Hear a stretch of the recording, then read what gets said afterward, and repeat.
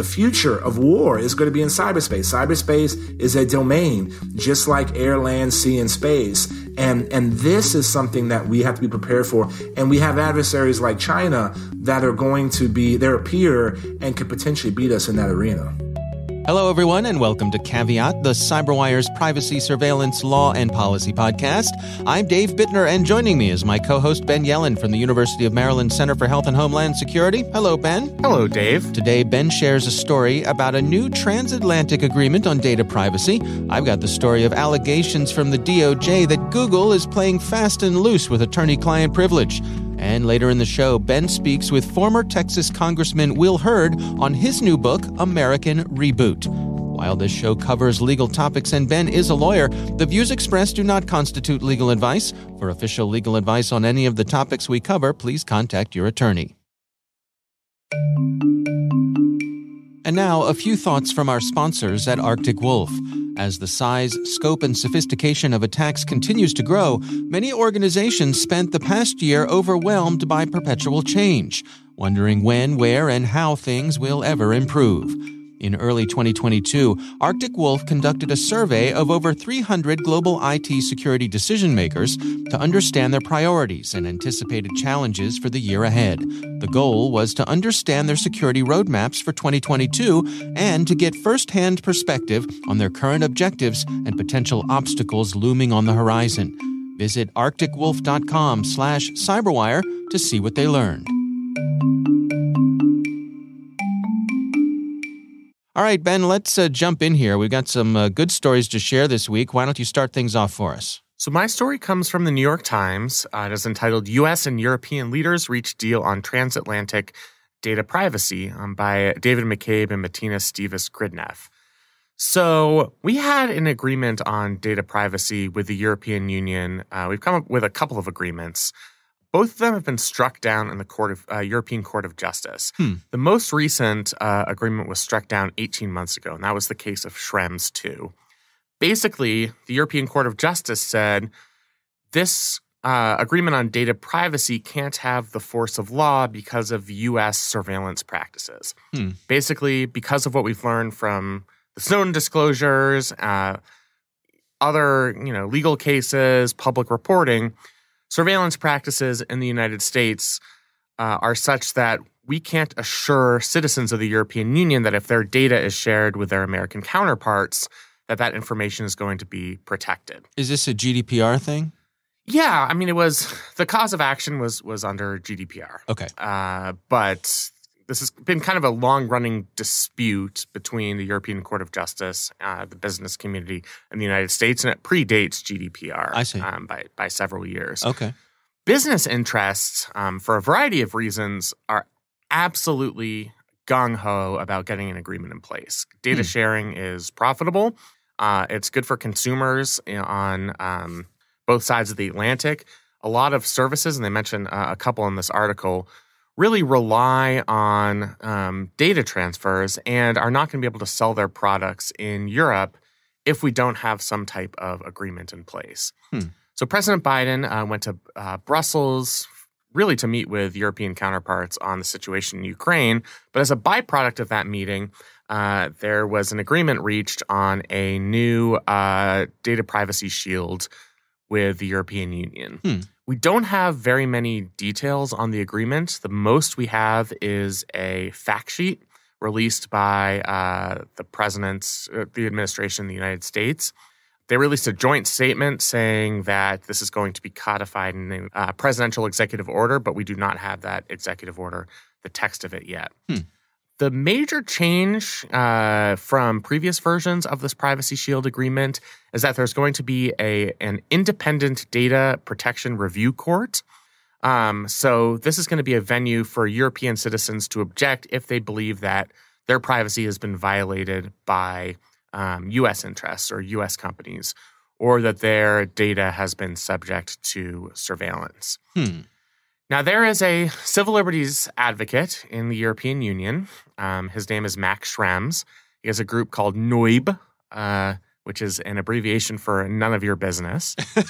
uh, and he has made it his life's work to invalidate these transatlantic uh, data privacy agreements, Uh-huh. and he's been successful twice. There was Ah. Schrems and Schrems 2. Mm-hmm. Uh, and just like there was a Home Alone 3, and just like there have been right, right. If uh, uh, sequels to some of our- three, Return of the Jedi. Exactly.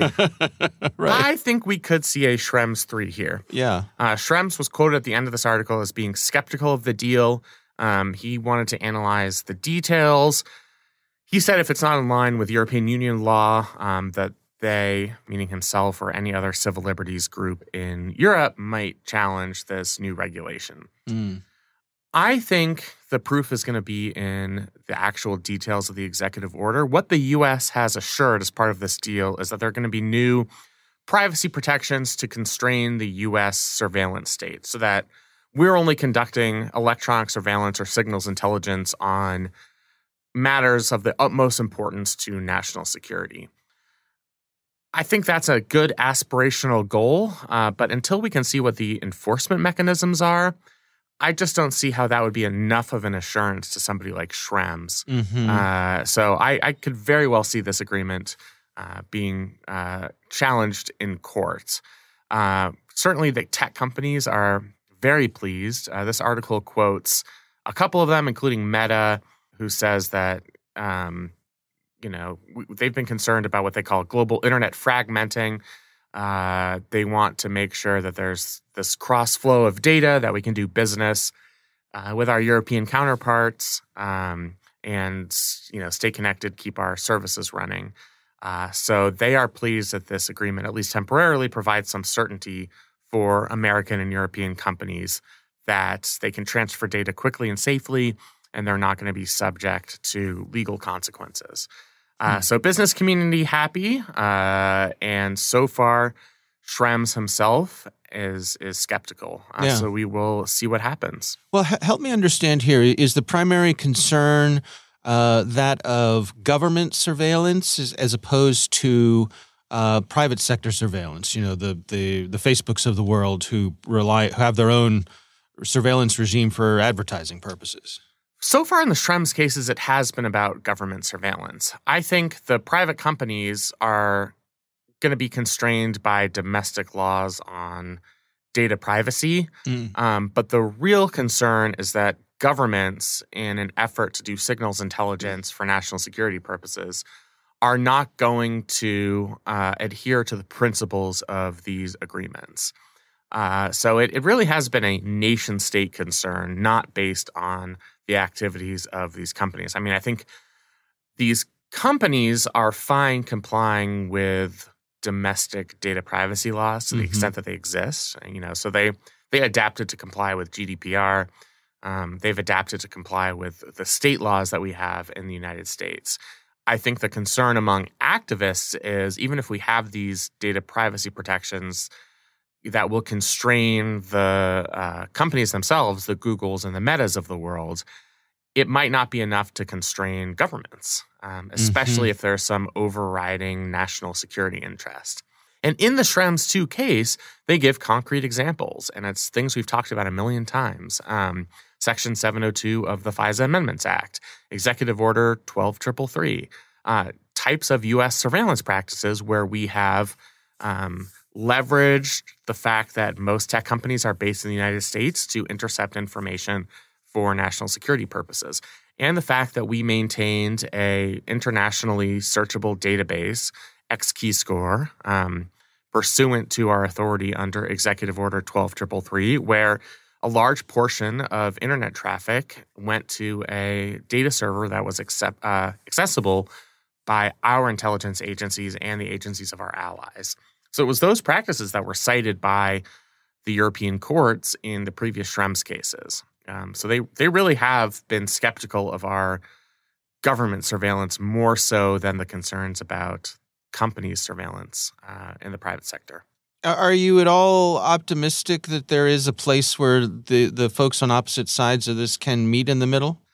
Yeah, I think that's going to be trial and error. Again, I have to see what the details of the executive order are. They have not been released. Um, I think we're getting closer to uh, a situation where there are enough assurances from our government, and of course, it depends on who's in power uh, in the United States. But there are enough assurances from our government that data is going to be protected that that satisfies both our European counterparts, which it generally has. I mean, we have come to these agreements, mm. and it satisfies, most importantly, the European courts who have been more skeptical of our surveillance. I see. Um, but I think you know, even if there is a Schrems three, uh, you know, that might inform. I'd say count on it. yeah, that might inform the next agreement. You right, know, if, if right. this is thrown out in a year, then maybe in two years we have another more robust agreement that has that further cracks down on some of our surveillance practices and assures European courts that we care about the integrity of data pursuant to GDPR. Mm. Uh, so yes, I do think we are closer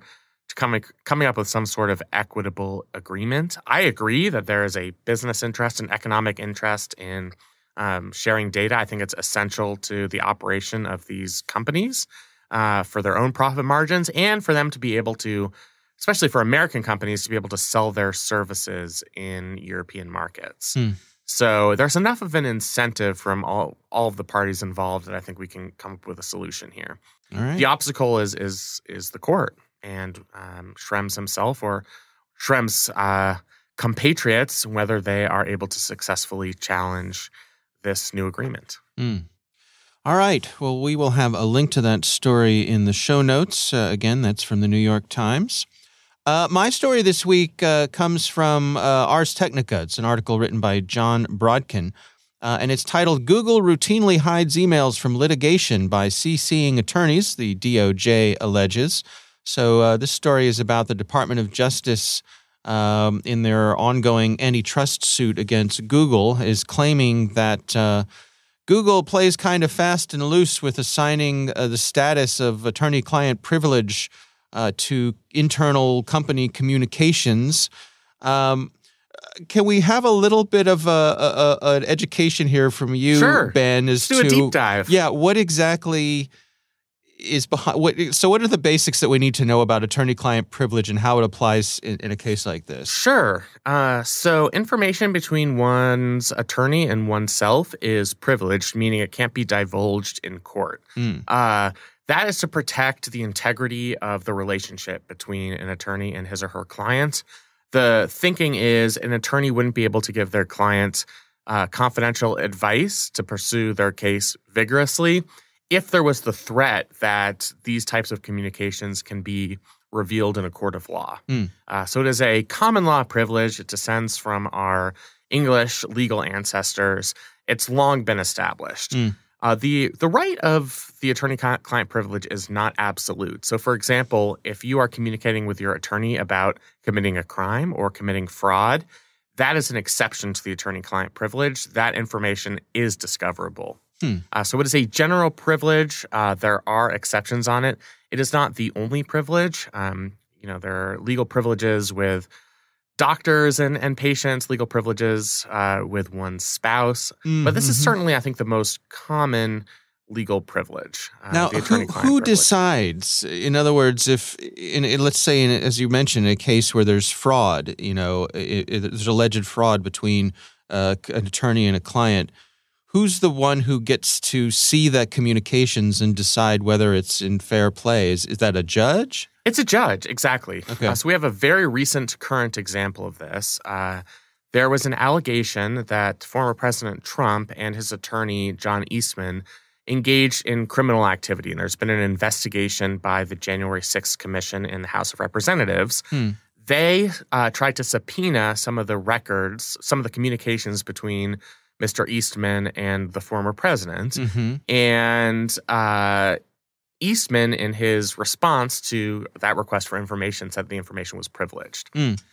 The January 6th Commission tried to argue that this crime fraud exception applied, saying we can obtain these communications if there is at least a preliminary showing um, through the evidence that a uh, crime has been committed or fraud has been perpetuated. Hmm.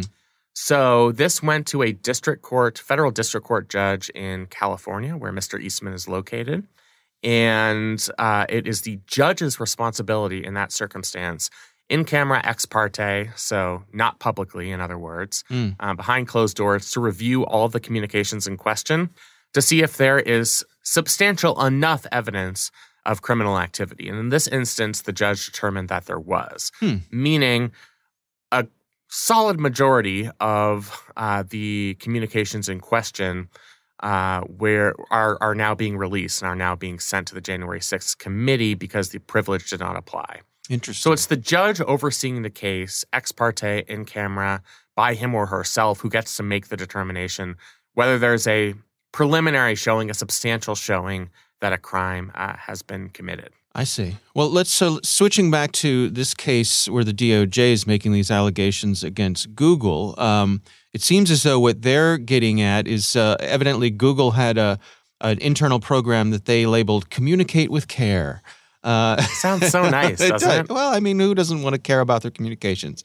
Um, but basically, the the the bottom line here is that Google uh, directed their employees to basically CC an attorney uh, and somehow label it as privileged communications and, and include a a generic request for counsel's advice in order to shield sensitive business communications.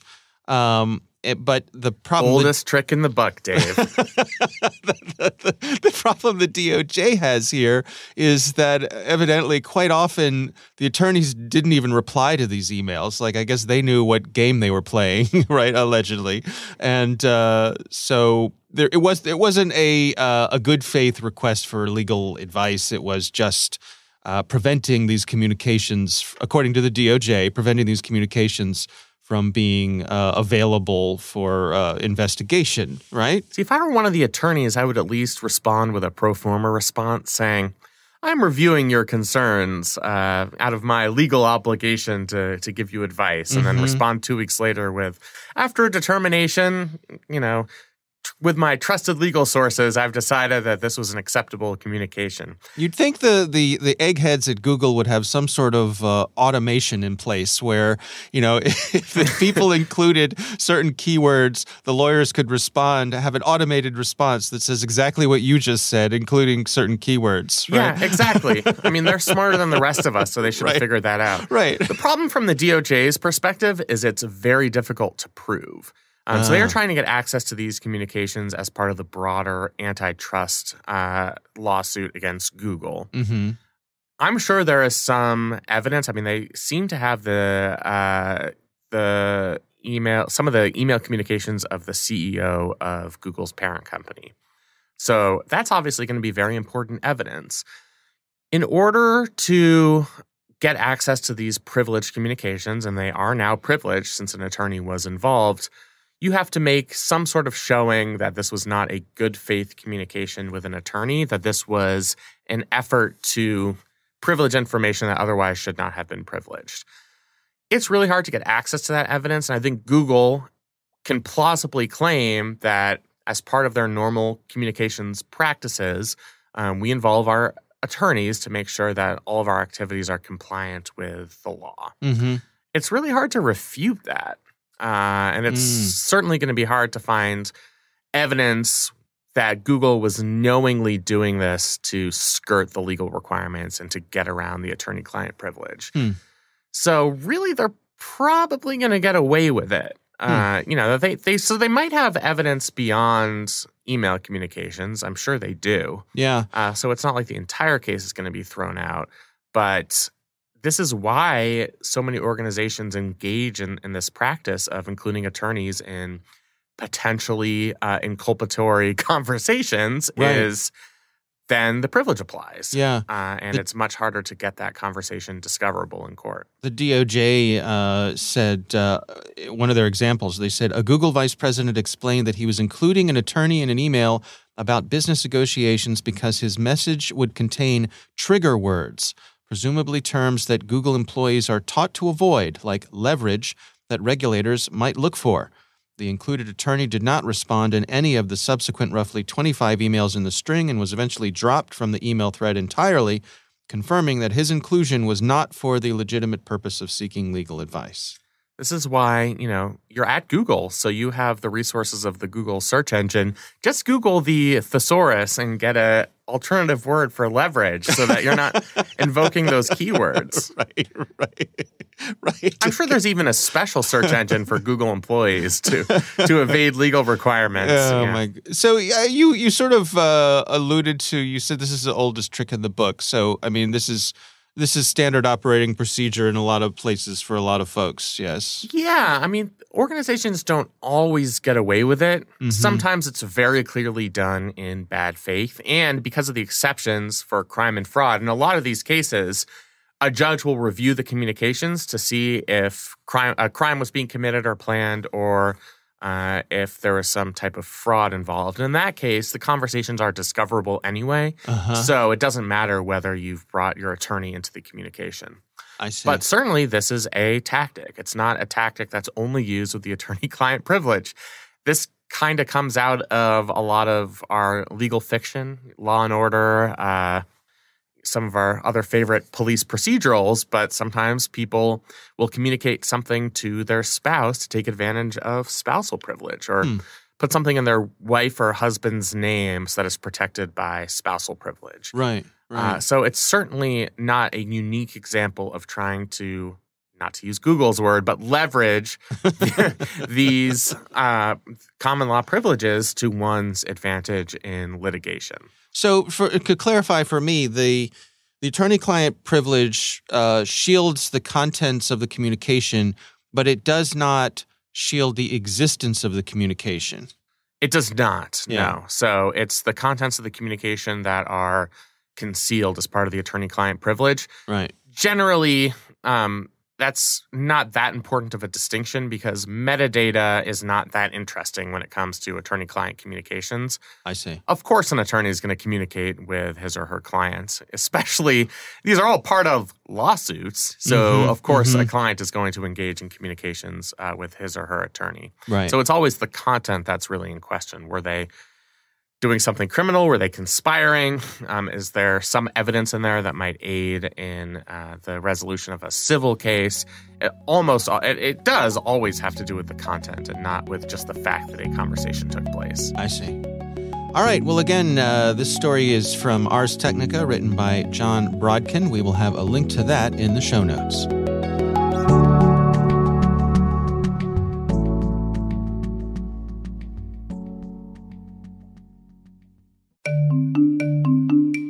Let's return to our sponsor, Arctic Wolf. 2021 was a landmark year in cybersecurity. The rapid piecemeal changes businesses made on the fly to infrastructure, applications, and access controls during 2022's huge shift to remote work are now under scrutiny, while security teams were still busy defending against the litany of attacks and attack methods. As the size, scope, and sophistication of attacks continues to grow, many organizations spent the past year overwhelmed by perpetual change, wondering when, where, and how things will ever improve. In early 2022, Arctic Wolf conducted a survey of over 300 global IT security decision makers to understand their priorities and anticipated challenges for the year ahead. The goal was to understand their security roadmaps for 2022 and to get firsthand perspective on their current objectives and potential obstacles looming on the horizon. Visit arcticwolf.com/cyberwire to see what they learned.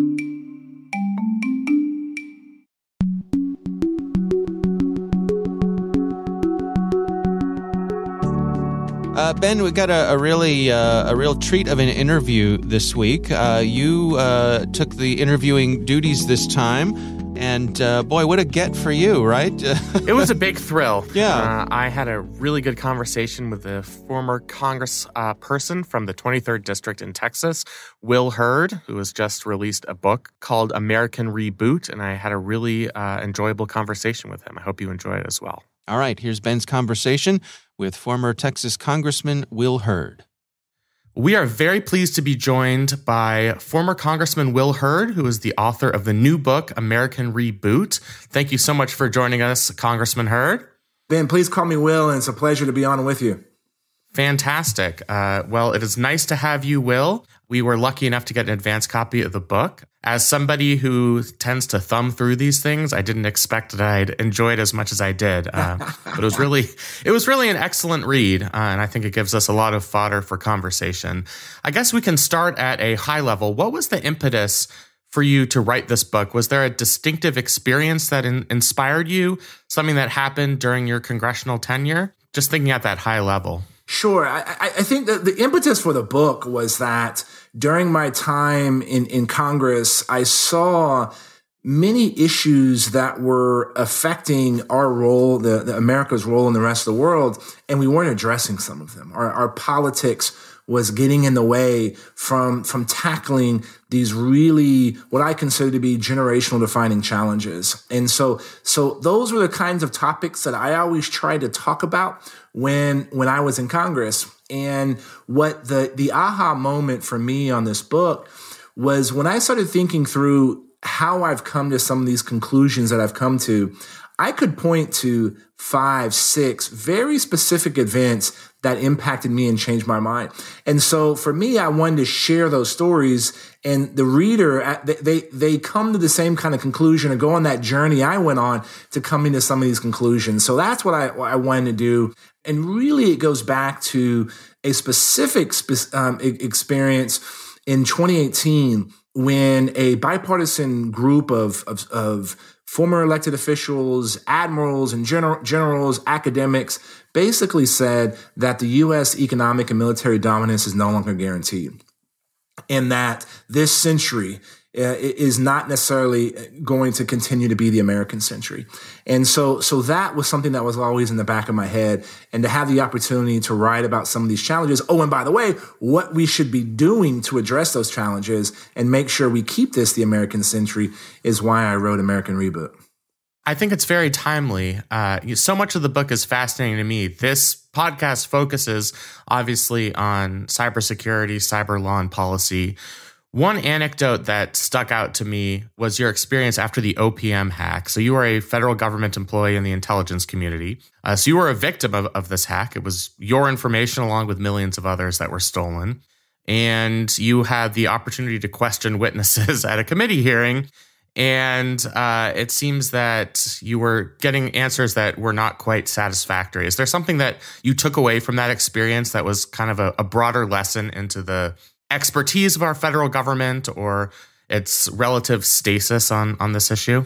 Look, that that experience with OPM hack, and I'm sure many of your listeners um, were impacted by this. Literally the day before the hearing, um, my chief of staff and I both got letters from OPM saying our information was was stolen.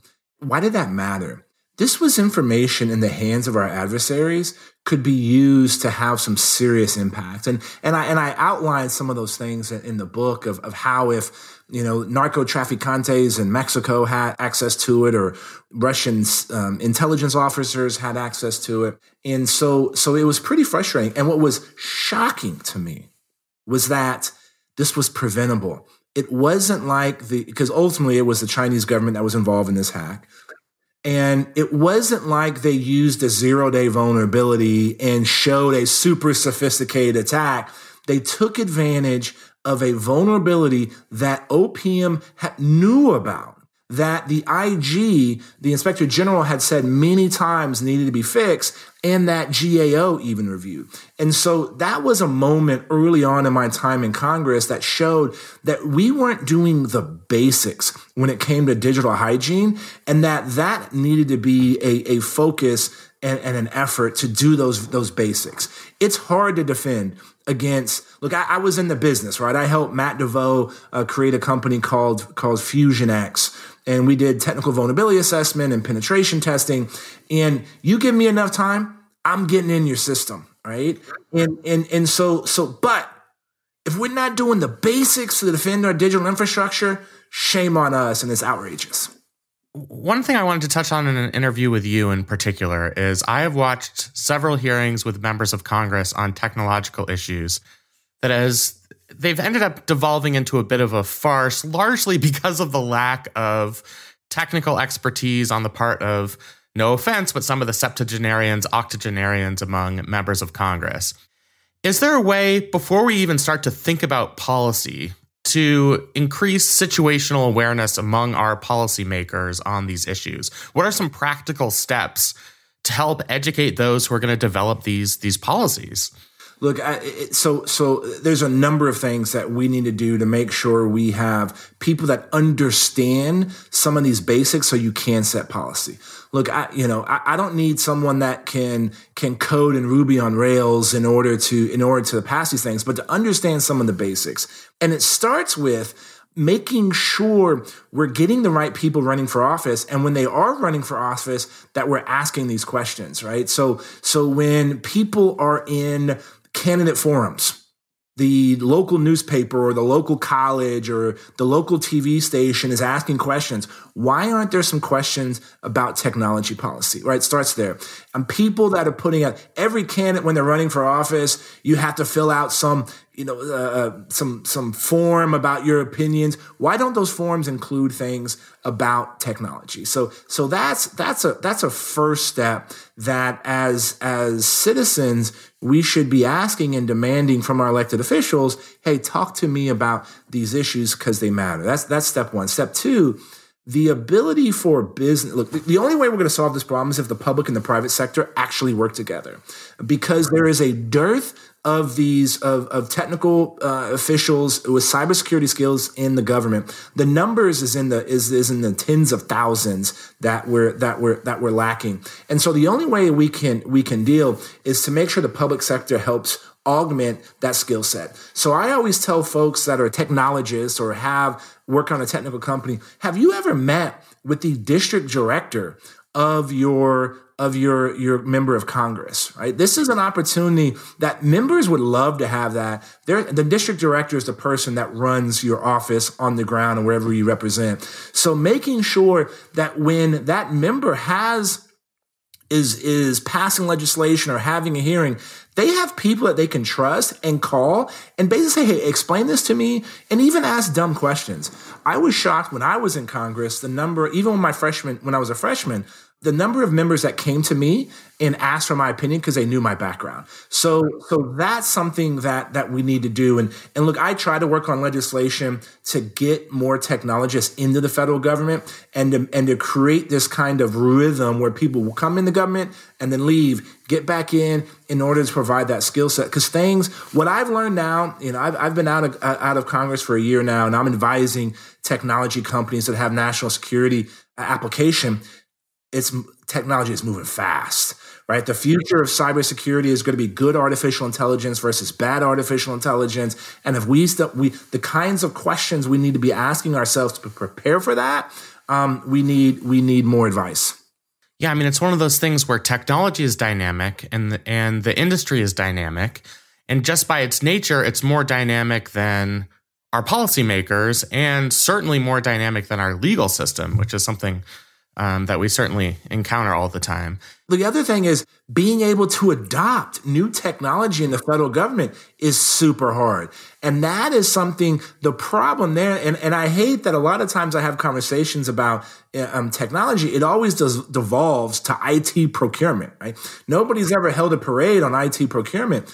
But if the people that are buying the good and service is not the person using the good or service. And that's what creates these problems um, to making sure we're getting the right technology. And, oh, and by the way, we got to be ready because the future of war is going to be in cyberspace. Cyberspace is a domain, just like air, land, sea, and space. And, and this is something that we have to be prepared for. And we have adversaries like China that are going to be their peer and could potentially beat us in that arena.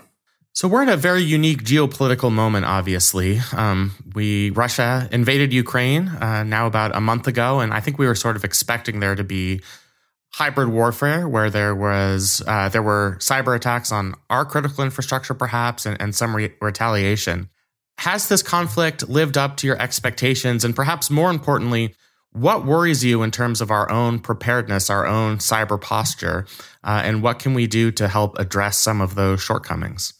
I am like many observers of what is happening and is shocked that the Russian government has not been more uh, effective when it comes to cyber warfare. And, and maybe said a different way, maybe said a different way. Um, the Ukrainians are no slouches, right? They they have been dealing with the direct threat of Russian uh, physical attack as well as digital attack since since well before 2014 when the Russians first invaded. So I think this this talks about the ability to defend against attackers. The the lack of, of use of autonomous drones is something that was also been pretty pretty. Um, I, I, thought it would we would have happened. Again, this could still escalate. I, I would say on a scale of one to ten, the Russians have probably only been at a five right now, and so they have they have a long way to go. And so we've seen them use autonomous drones in Syria. That can still um, happen. The thing that we have to be prepared for is are, are, are the water treatment plants across the United States are they prepared? The the one hack that happened, I think it was last summer. It was in Florida, in that water treatment plant. I, I feel like that ha- that didn't get enough focus. What has happened? I'm sure Department of Homeland Security and CISA have, was was working with other water treatment plants, but these are not the most sophisticated of digital infrastructures. So, what's the aftermath of that? I look at the grid in Texas. Last year, during last summer, we saw our, our grid almost fail. And the ability to to counter one of those kind uh, or to to mimic a similar attack eh, from the cyber from cyberspace is there. And so part of my fear is hubris of defenders to think, oh, we got it. And this is what I learned in the cybersecurity space. Everybody says, hey, we're doing the best, we're doing everything right. But when you pop the hood, and look inside, they're never doing it the, the way that they say. And so you always have to have that third party kind of kind of attack. And and and why I, care about this because there's a great book. It's a fiction book written. It was called 2034, and it was written by the former NATO commander.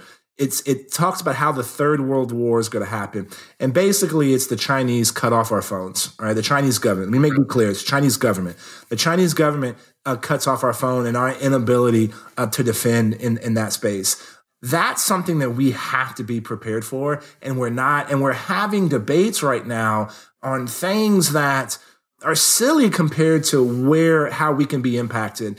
And, and ultimately, the Chinese government is trying to surpass the United States as a global superpower. What does that mean for all of us? What that means for us is that if the US economy is no longer the most important economy, that's going to impact our, our retirement. That's going to impact our, our, the ability of our kids and our grandkids to have good paying jobs. This is, these are the issues we should be trying to grapple with. And we need a true competition of ideas in order to do that. And that's one of the reasons why I wrote this book to try to outline and, and educate folks and, and, and, and help show how I learned uh, about these topics as well.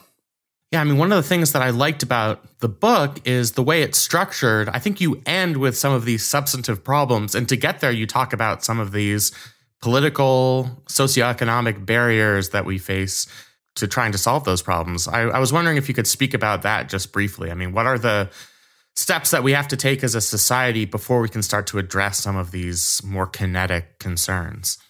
You know, but I'm sure your listeners they are they're all probably a lot like me. I, I started my career in a computer lab at Texas A&M University, and when those when those computers weren't working, I didn't know what to do. What did I do? I rebooted the sucker, right? And mm-hmm. and, and for some reason, you get back to the original operating system. And and for me, that's why this book is titled American Reboot. We are at a political, cultural, international moment where it's impossible to get big things done, and we need to get back to those those values and concepts that help make us the greatest uh, country on this planet. Um, our political system has gotten so mucked up that it's that where it's it's the our politicians are focused on the extremes of the political parties, not the middle, not the center, where 80% of Americans are. And so if if we were able to start talking about all those things that unite us rather than divides us, we'll be in a better position to deal with some of these challenges. And and look, you know, we're seeing it right now. Uh, the fact that Ukraine is even considering agreeing to not joining NATO is a is a is ultimately a rebuke on NATO, saying, "Hey, this may not be an alliance it's better to go alone than to, to join this organization, right? Like that's a serious that's a that's a serious rebuke of the international order that America has has grown to, to, to cooperate. Technology. I, I, sit on the board of a, of a company that's working towards artificial general intelligence. The questions that we're going to be asking in a very short period of time. I'm talking months and years, not decades um, you know, is going to impact our future. And so we have to get talk and, and be able, be ready to address these generational defining challenges so that we can continue to improve quality of life for, for Americans, but also uplift humanity. And we have to get through this notion that the other side is evil and their only goal is to is to bring the country down to its knees. Uh, we have to be able to cooperate. And the things that I learned representing a, a, a, a truly contested congressional district is actually that way more unites us than divides us. Let's focus on those things so we can solve the problems of, of the future. And we're going to make sure the next uh, 247 years are as exciting as the last 247. I promise I will close with something that's tangible, but I do want to mention for our listeners, if you haven't seen it, one of the great uh, viral YouTube sensations of the past several years was you driving back to Washington, D.C. with Congressman, Congressman Beto O'Rourke. You were stuck in Texas. There was some weather incident. That's right. We we were in Texas. Beto Beto and I represented El Paso. My, my, district went from San Antonio to El Paso. It was 29 counties, two time zones, 820 miles of the border. And Beto was the only Texan on the VA committee, the Veteran Affairs Committee. And I asked him to come to San Antonio to meet with some of my veterans organizations. And this was one of the many snowpocalypses uh, focusing right. on, on DC. And our flights got canceled. Now, I'm, I'm a loyal Southwest Airlines guy.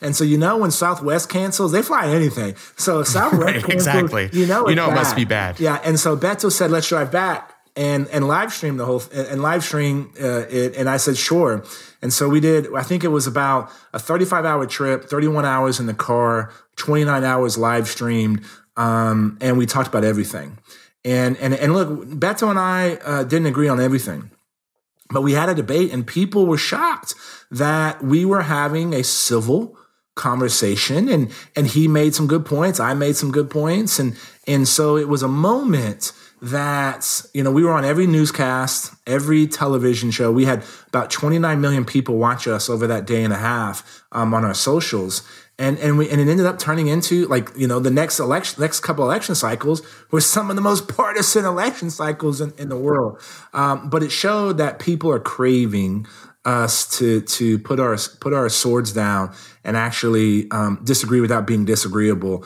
and and work to solve solve real problems. Because here's what happens. Here's what I've learned.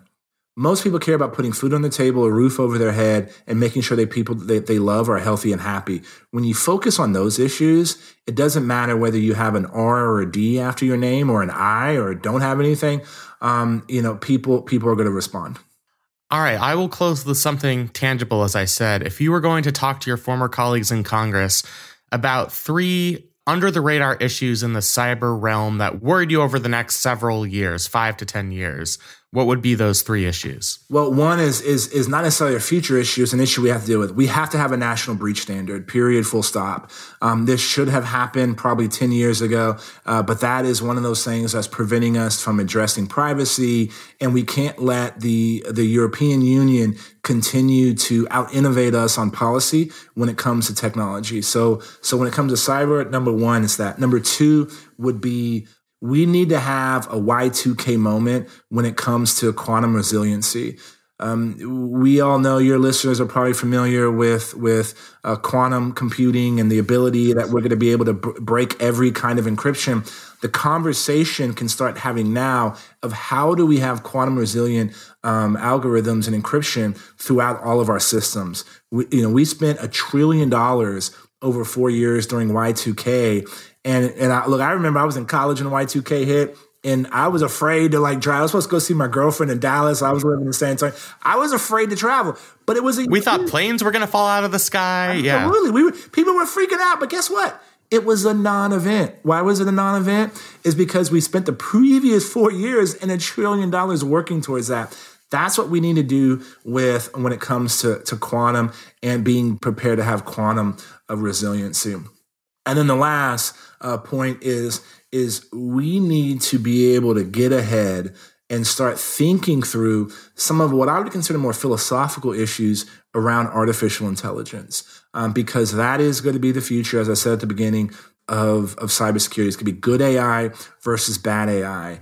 And what are the rules and of the road of how to train those, uh, tr- train those kinds of algorithms?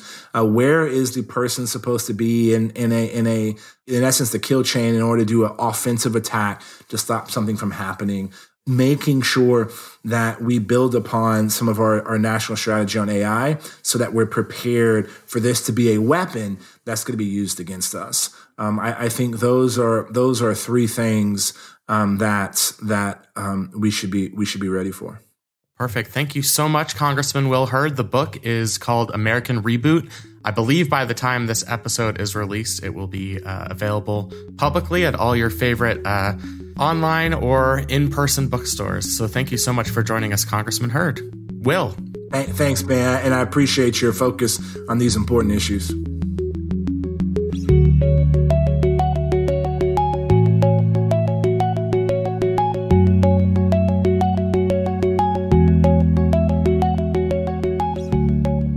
All right. Uh, boy, great interview. Uh, I enjoyed that very much. Um, a couple of things that caught that that, that caught my attention that I, I enjoyed. Um, I loved his line. I laughed out loud when he said, "Nobody's ever held a parade on IT procurement." that gives us an idea, right? right Our annual right. IT procurement parade. Yeah, yeah. right. Exactly. It seems like yeah, there's an opportunity there. It's mm-hmm. underserved. Um, but I think he's right, and I think it speaks to a really important point that you know there's sort of the unsung heroes of of keeping everything uh, safe, and yet they're within this framework that is slow and ponderous, and you know it moves at its own pace. It's that you don't turn that battleship on a dime, right? right?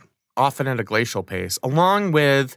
I think this is something else he mentioned in this interview, not just we've talked about how the legal system moves moves at a glacial pace, but mm-hmm. the policy making mechanisms in this country move at a glacial p- pace, and I think that's something that's been very frustrating to Congressman Hurd from being on the inside. Mm-hmm. Uh, and I think that's one of the reasons eh, this type of inertia that he decided to write the book, and I think it's to his his great credit that he did that. Yeah. I, it, I also uh, liked his mention of that a lot of tech companies, in particular, uh, when it comes to security, have a lot of hubris. Uh, you know, they before the breach happens, they talk about how they're fully protected and everything's great, and then you know you get under you, you get under the hood and you find maybe things weren't as great as as they thought, and and it's happened so many times right. Uh, to become practically a stereotype.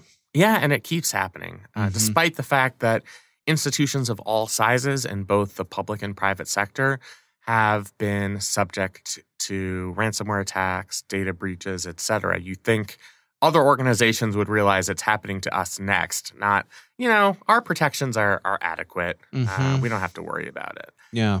I it's it's such a unique perspective, somebody who prior to his service in Congress was in this world, uh, was in obviously he was in human intelligence as, as uh, part of the CIA, but yeah. has this fluency in cybersecurity issues. It's kind of a Mr. Smith goes to Washington situation, literally, mm-hmm. where I, I love the anecdote, anecdote at the beginning of one of his chapters about how he himself was victimized by the OPM data breach. Mm.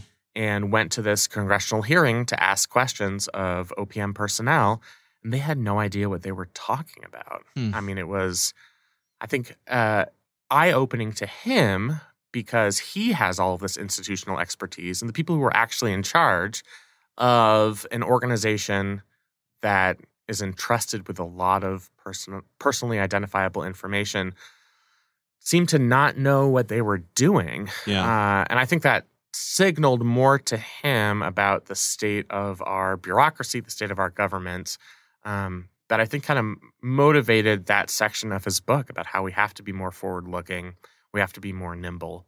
Um, so that was one of the reasons I, I started with that anecdote, just because it was kind of eye opening to me as it was eye opening to him.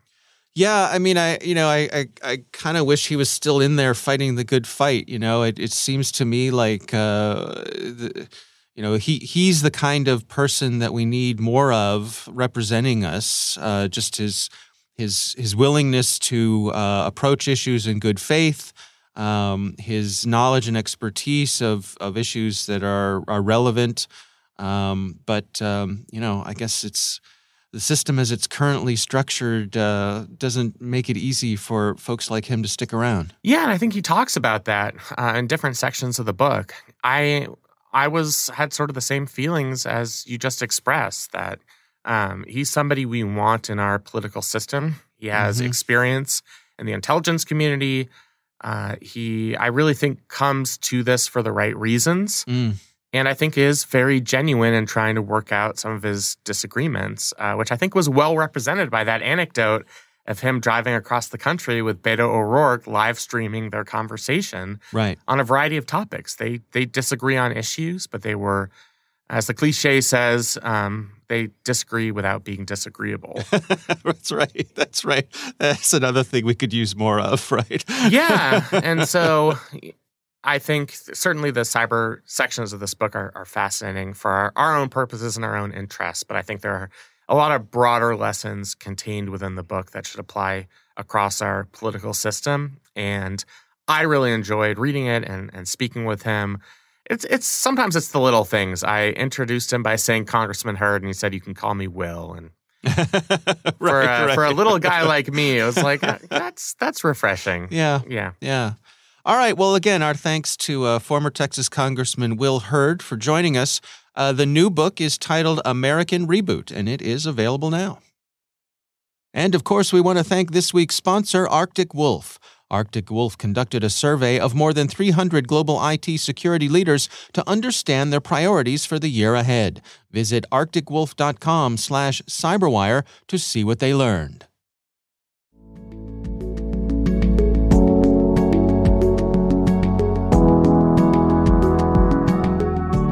That is our show. We want to thank all of you for listening. The Caveat podcast is proudly produced in Maryland at the startup studios of DataTribe, where they're co building the next generation of cybersecurity teams and technologies. Our senior producer is Jennifer Eiben. Our executive editor is Peter Kilpe. I'm Dave Bittner. And I'm Ben Yelin. Thanks for listening.